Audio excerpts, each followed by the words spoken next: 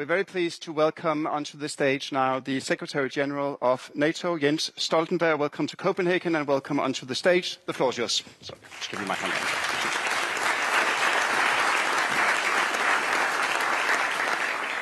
Good morning to all of you. Prime Minister Mette Frederiksen, dear Mette, it's uh, great to be here together with all of you today.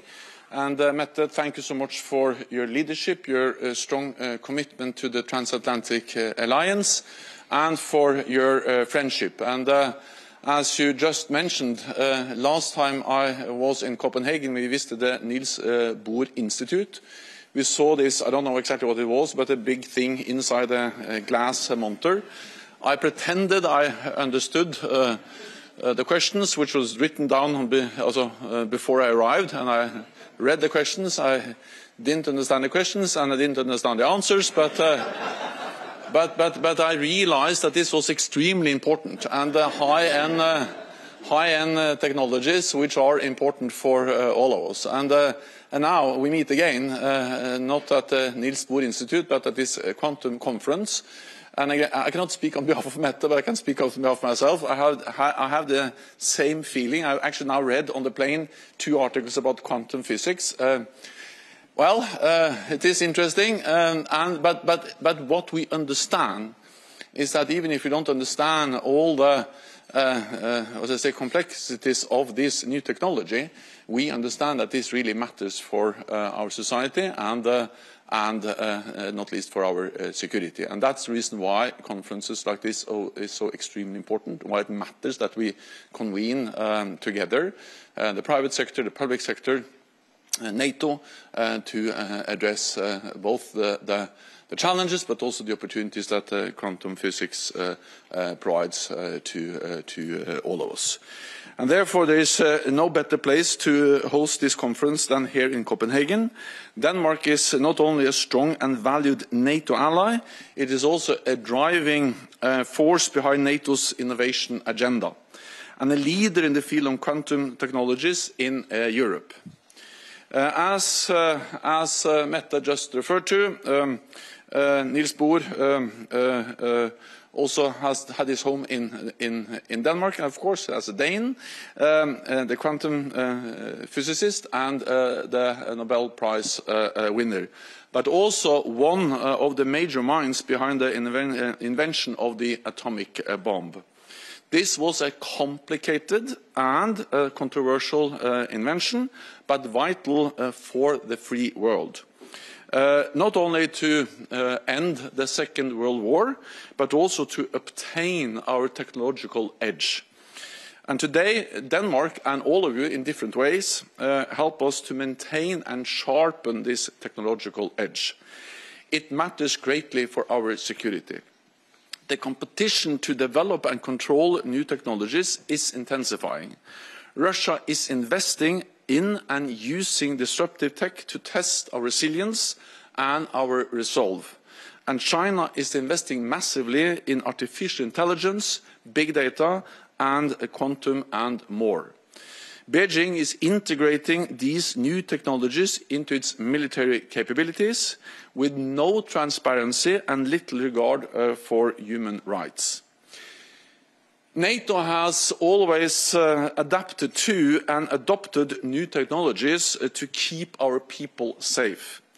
With a rapid spread of disruptive technologies, we must adapt uh, further and faster than ever before, including uh, in the field of quantum.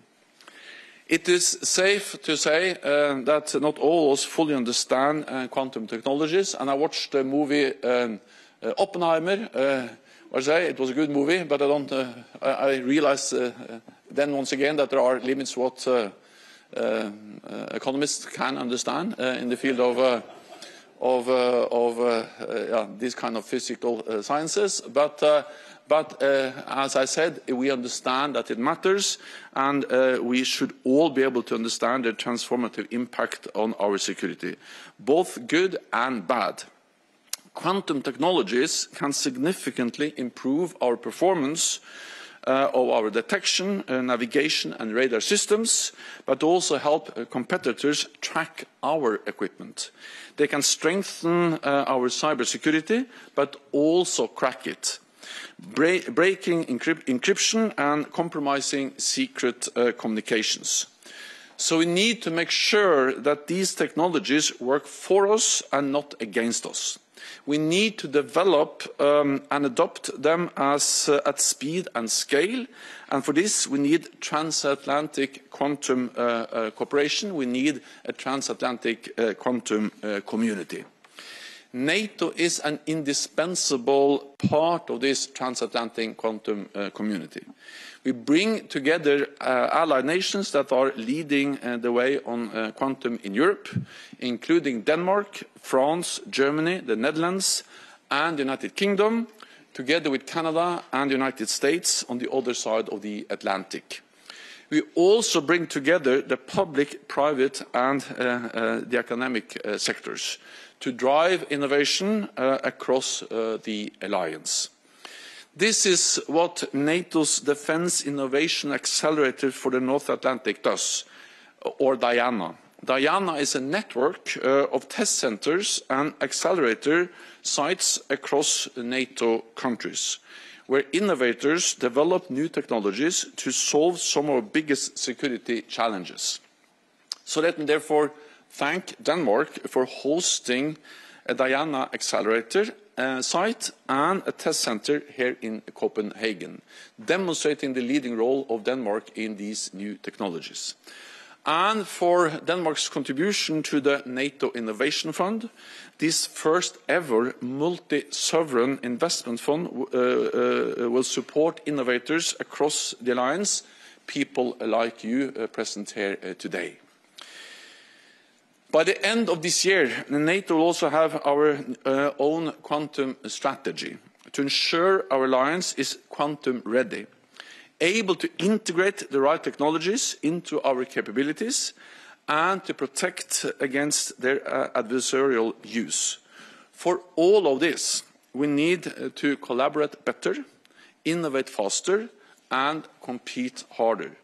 So thank you again uh, for hosting this uh, conference. Thank you, Mette, for uh, uh sharing this stage uh, with me. And uh, thank you so much to all of you for helping and supporting the efforts of NATO to develop our quantum strategy. Thank you so much.